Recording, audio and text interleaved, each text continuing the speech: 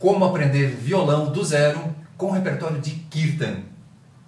Oi, eu sou Chuba Maia, músico, violonista e arte educador e preparei uma super aula online aberta dia 24 e 25 de agosto que vai te mostrar como tocar violão do zero com repertório de Kirtan. Como aprender violão com esse tipo de repertório.